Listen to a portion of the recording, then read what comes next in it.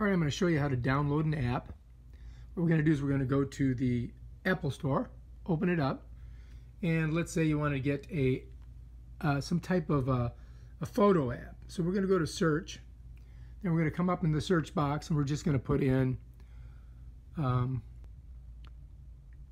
photo editor. Bam. Now it's going to bring a bunch of them up. And uh, here's one right here that I at one time had already put it in there. YouCam Perfect Photo Editor. Let's go ahead and download that. All right, wait a minute. What's going on here? Download. Oh, here we go. I clicked the wrong thing. All right, so that thing's going to spin around. All right, you see it? And it may take like a million years to do. All right, I'm not going to make you watch this whole thing. I'm going to come back when it's loaded. All right, we're about halfway there.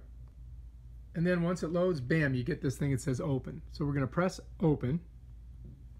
Whoops, open. And it opens it up. Ta-da!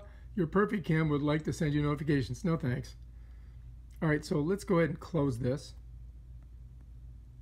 Let's close all this stuff. Apparently I got everything open here.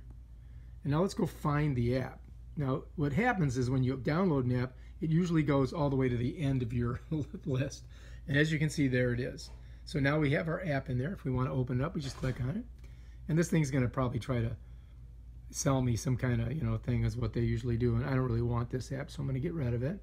So now I'm going to show you how to get rid of an app. This is a new this is a new way to do it because um, Apple's changed the software. So what you're going to do is you're going to press on it. It's going to bring up this additional box and it's going to have delete app. And all you have to do is go delete app. And it says delete YouCam. Deleting this app will also delete its data. Great, let's get rid of it. Cha-ching, it's gone. And that's how you delete an app.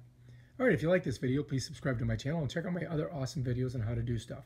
Peace out.